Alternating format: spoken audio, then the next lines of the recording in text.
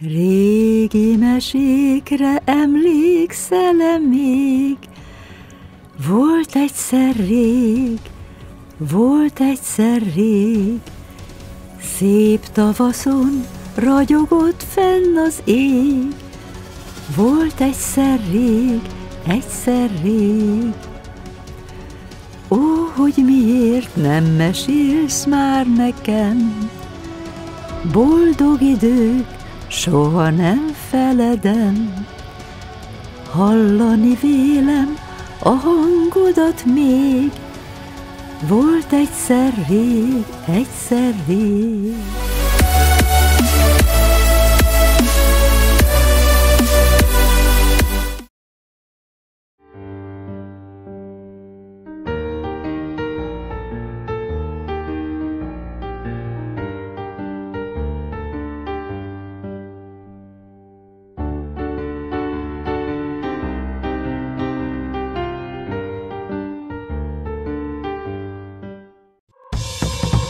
Lemezürié örökség Sok különös ügyben nyomoztam Poáróval, de azt hiszem egyik sem ér fel azzal a rendkívüli esemény sorozattal, amely hosszú éveken át lekötötte figyelmünket, s amelynek megoldásába végül bevonták Poárót.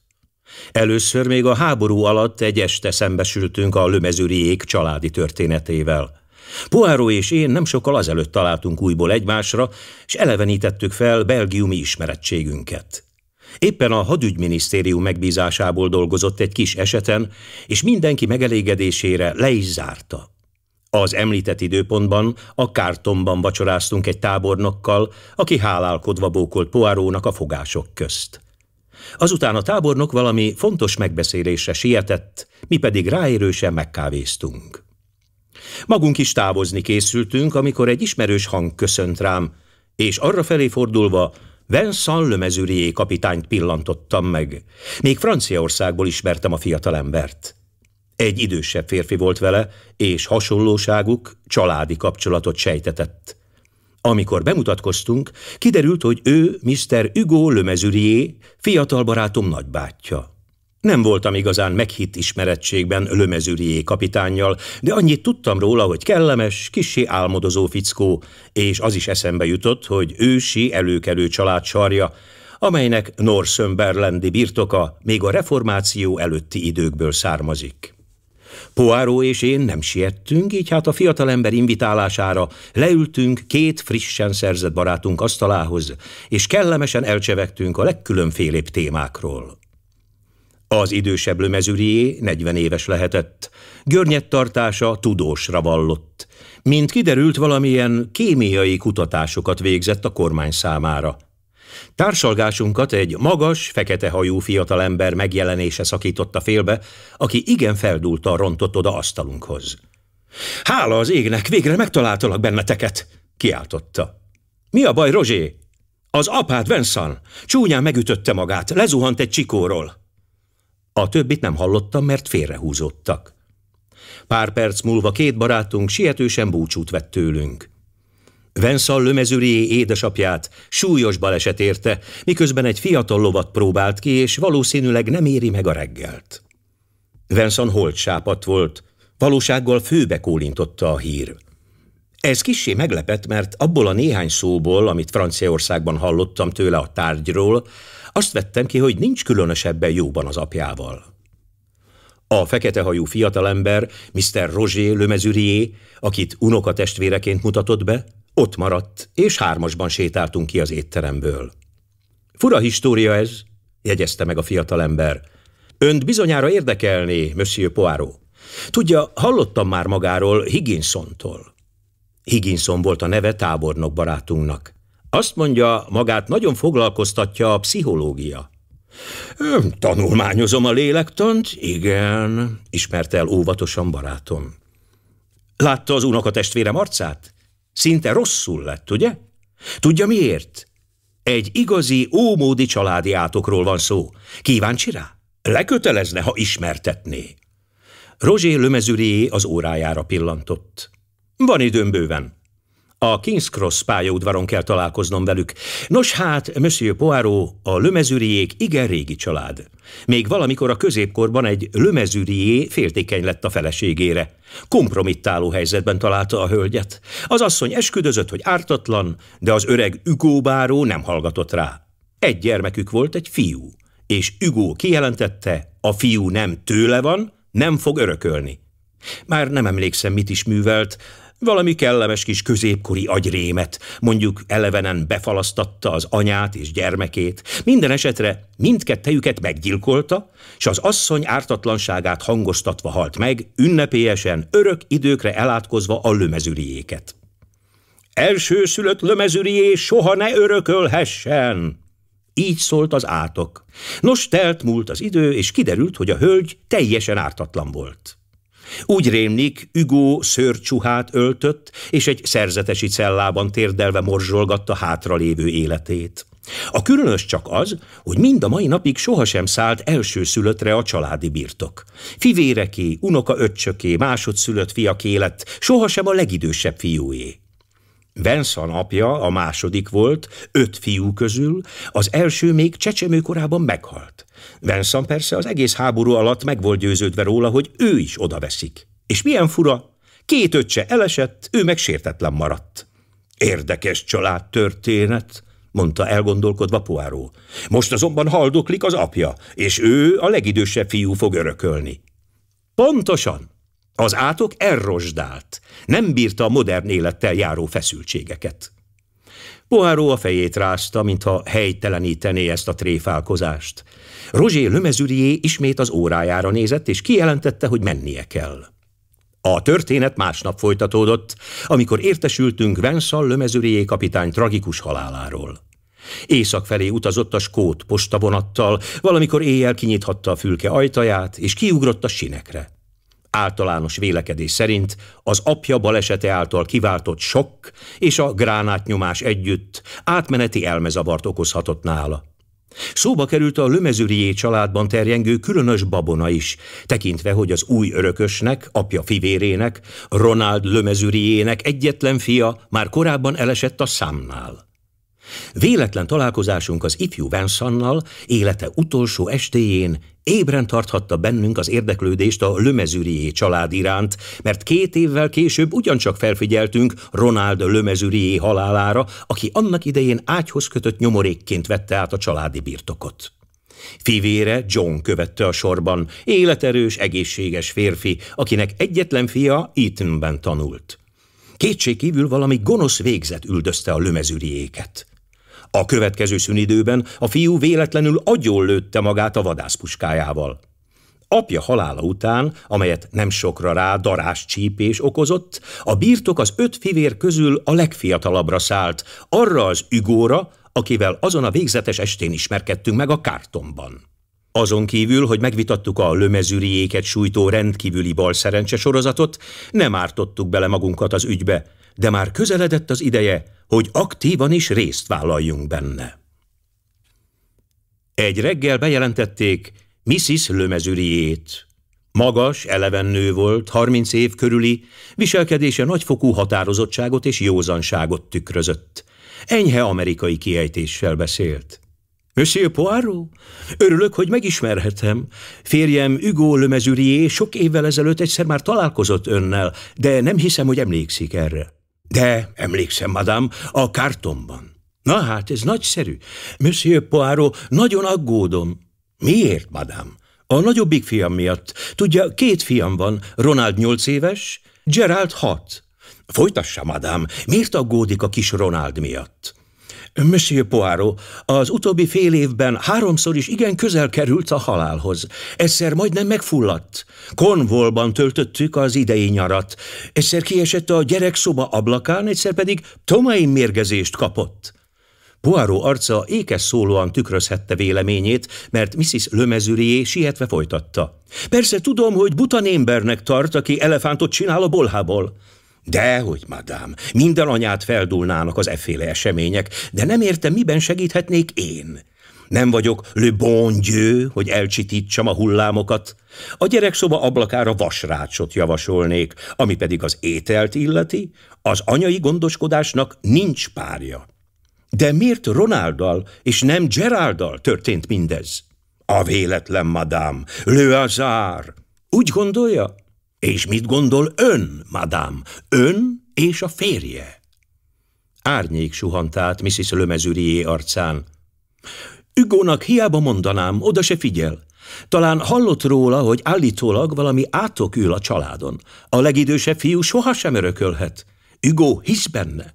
Csak a család története foglalkoztatja, és szerfelett babonás. Ha szóba hozom a félelmeimet, azt mondja, ez családi átok, nincs előle menekvés. Csak hogy én az államokból származom, Monsieur Poirot, és mi odaát nem igen hiszünk az átkokban.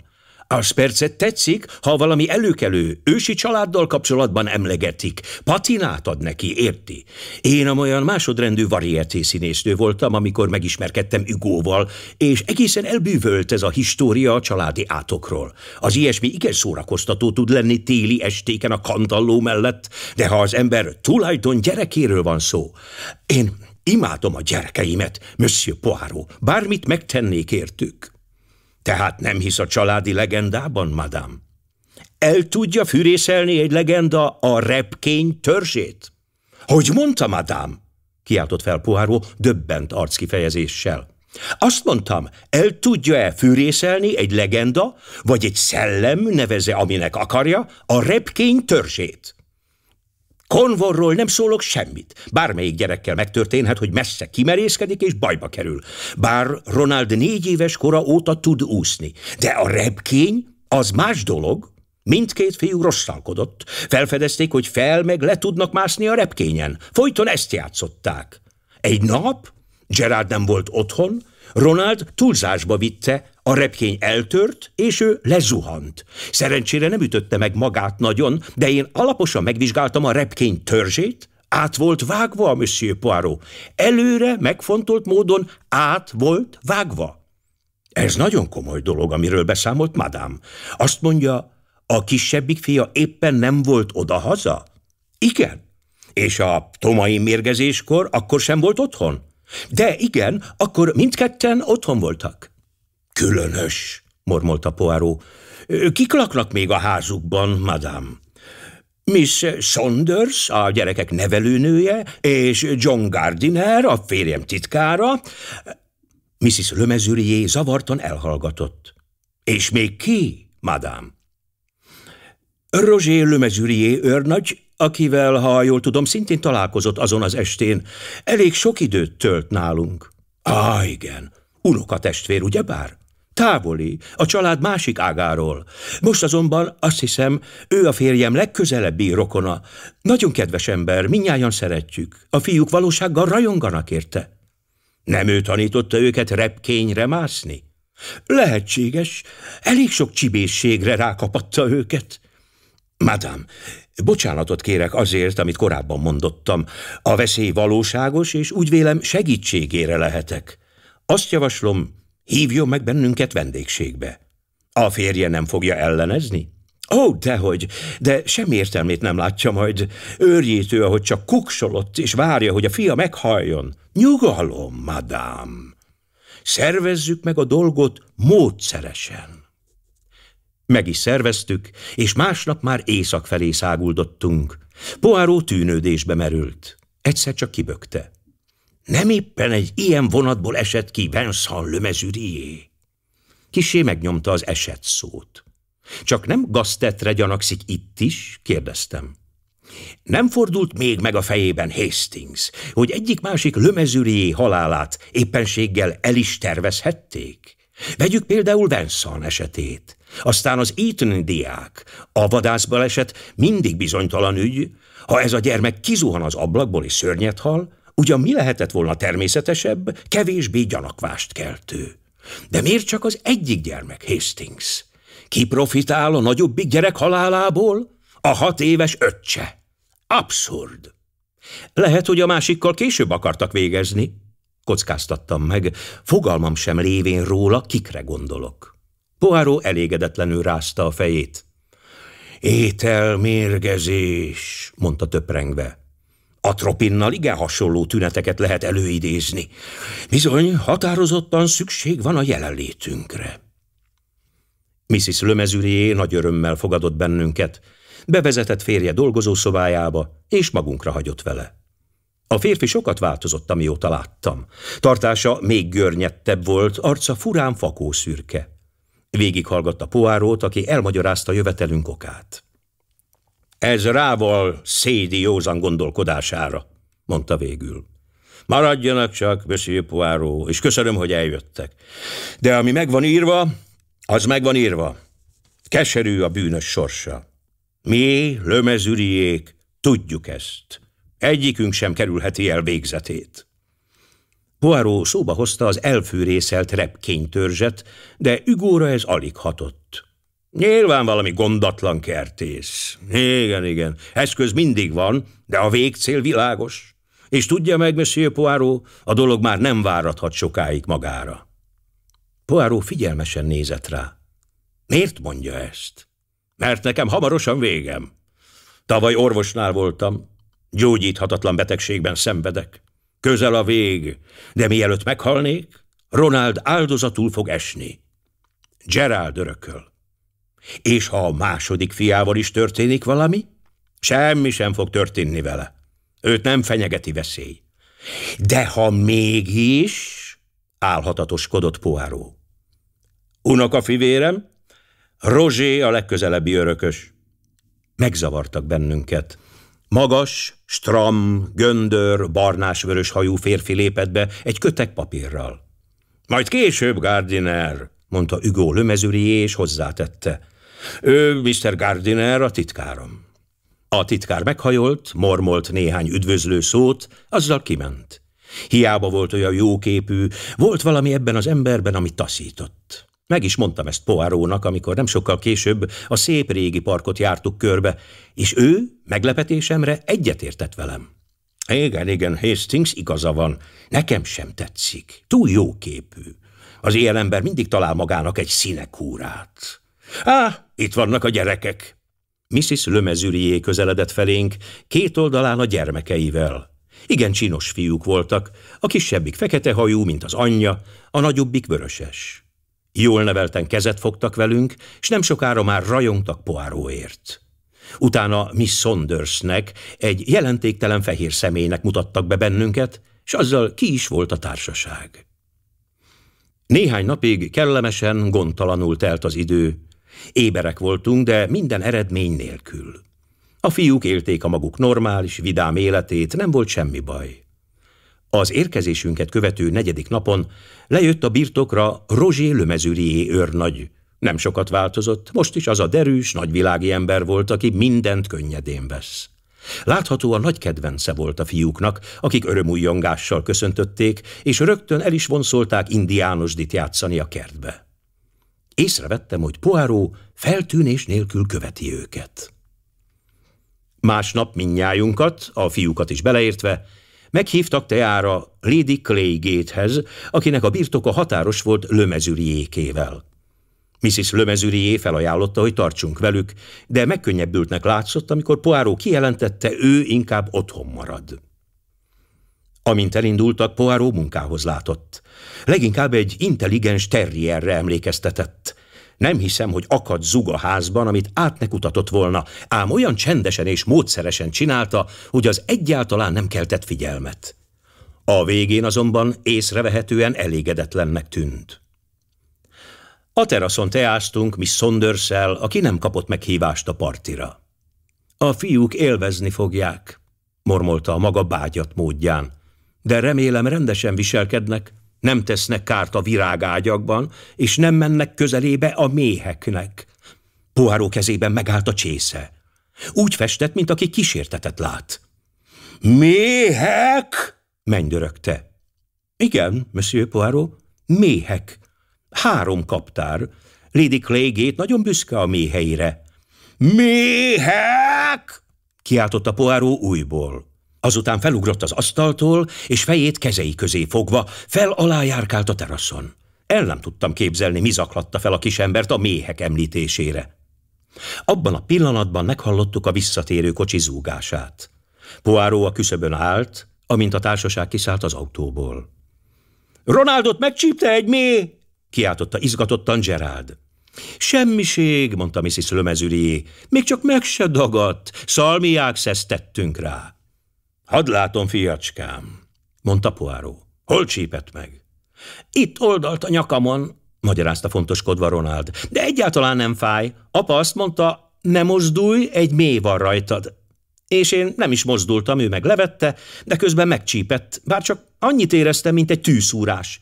És nem is sírtam, mert nagy vagyok, és jövőre iskolás leszek. Poáró megvizsgálta a gyerek nyakát, majd hátra lépett. Karon fogott, és azt mormolta. Ma este, Monami, ma este egy kis dolgunk lesz. Ne szóljon róla senkinek. Ennél többet nem volt hajlandó mondani, és engem egész este mardosott a kíváncsiság. Korán visszavonult, és én követtem a példáját. Miközben mentünk fel a lépcsőn, karon fogott, és közölte utasítását. Nevet közzön le. Várjon egy keveset, olts el a lámpáját, utána itt találkozunk. Engedelmeskedtem, és ő már várt rám, amikor visszatértem. Csendre intett, és odaosontunk a gyerekszárnyhoz. Ronald saját kis külön szobájában aludt. Beléptünk, és elhelyezkedtünk a legsötétebb sarokban. A gyermek hangosan, egyenletesen szuszogott. Jó mélyen alszik, nem? suttogtam. Poáró bólintott. Elkábították, mormolta. Miért? Hogy nekiáltson, amikor... Amikor? kérdeztem, mert Poáró elhallgatott. Amikor megböki az injekciós tű, Monami. Psst, maradjunk csendben. Bár úgy gondolom, egy darabig még nem történik semmi. De Poirot tévedett. Alig telt el tíz perc, amikor halkan nyílt az ajtó, és valaki belépett a szobába. Kapkodó lélegzetvételt hallottam. Léptek közeledtek az ágyhoz, és hirtelen kattant valami. Egy kis elektromos lámpa fénye esett az alvó gyermekre. Aki tartotta, még árnyékban volt. Az alak letette a lámpát. Jobb kezével injekciós tűt vett elő, a ballal megérintette a fiú nyakát. Poáró és én egyszerre vetettük rá magunkat. A lámpa a padlóra gurult, és mi a sötétben tusakodtunk a behatolóval. Roppant tereje volt. Végül legyűrtük. A lámpát, Hastings, látnom kell az arcát. Bár attól félek, nagyon is jól tudom, kié lesz. Én is attól féltem, miközben a lámpa után tapogatóztam. Eleinte a titkárra gyanakodtam, mivel nem tetszett nekem az az alak, de azután biztosra vettem, hogy a szörnyeteg, akire vadászunk, csak is az lehet, aki a legtöbbet nyerné két kis unokaöccse halálával. Lábam beleütközött a lámpába, felkaptam és bekapcsoltam. Fénye egyenesen Hugo Lemezuriének, a fiú apjának arcára esett. Kisiján elejtettem a lámpát. Ez lehetetlen, mormoltam reketten. Lehetetlen. Lömezürié eszméletlen volt. Poáró és én átszipeltük a szobájába, és lefektettük az ágyra. Poáró föléje hajolt, és vigyázva kivett valamit a jobb kezéből. Megmutatta. Egy injekciós tű volt. Elborzattam. Mi van benne, méreg? Hangyasav, gondolom. Hangyasav? Igen, bizonyára hangyákból vonta ki. Ne feledje, hogy vegyész. A halált a mélycsípésnek tulajdonították volna. Istenem, motyogtam, a saját fia, és maga számított erre? Poáró komoran bólintott. Igen, természetesen őrült, gondolom agyára ment a család története. Fékezhetetlen vágya, hogy ő örökölje a birtokot, egész sor büntetre sarkalta. Akkor verhetett benne gyökeret a gondolat, amikor aznap éjjel észak felé utazott Venszannal. Képtelen volt elviselni, hogy a jóslat hamisnak bizonyuljon. Ronald fia akkor már nem élt, és maga Ronald is haldoklott. Gyenge törzsök. Megrendezte a balesetet a puskával, és, ezt eddig nem sejtettem, fivére John halálát is ő idézte elő úgy, hogy hangyasavat fecskendezett a vénájába. Becsvágya tehát valóra vált. Ővé lett a családi uradalom. Ám diadala kurtának bizonyult. Kiderült, hogy gyógyíthatatlan betegségben szenved. És ekkor eluralkodott rajta az eszelősök mániája. Elsőszülött Lömezürié nem örökölhet. Bízvást az ő rovására írhatjuk a fürdő balesetet is. Ő biztatta fel a gyereket, hogy ússzon ki jó messzire. Miután ezzel felsült, elfűrészelte a repkény törzsét, utána pedig megmérgezte a fiú ételét. Pokoli, motyogtam megborzongva, és milyen ravaszul kitervelte. Bizony, Monami, nincs döbbenetesebb az eszelős ember rendkívüli észszerűségénél. Talán csak a normálisak rendkívüli bogarassága vetekszik vele. Úgy képzelem, csupán nemrég borult el teljesen az elméje, mert az elején még volt módszer az őrületében. Én meg Rozséra gyanakodtam, arra a nagyszerű fickóra. Egészen természetes feltételezés volt Monami. Tudtuk, hogy ő is együtt utazott éjszakra Venszannal aznap éjjel. Azt is tudtuk, hogy ő a következő örökös Hugo és gyermekei után. De feltevésünk nem felelt meg a tényeknek. A repkényt akkor fűrészelték el, amikor csak a kis Ronald volt itthon. Rozsénak azonban az állt volna érdekében, hogy mindkét gyermek elpusztuljon. Hasonlóképp csak Ronald ételét mérgezték meg. Ma pedig, amikor hazajöttek, és én ráébredtem, csupán az apja szava tanúsítja, hogy Ronaldot megcsípte az a mély, rögtön eszembe jutott az a másik darás csípéses haláleset. És akkor már tudtam. Hugo Lemezurié néhány hónappal később elhunyt abban a privát elmegyógyintézetben, ahová beszállították. Özvegye egy év múlva feleségül ment Mr. John Gardinerhez, a barnás-vörös hajú titkárhoz. Ronald megörökölte az atyai uradalmat, és azóta is él és virul. Lám, lám, jegyeztem meg, szerte foszlott egy újabb illúzió.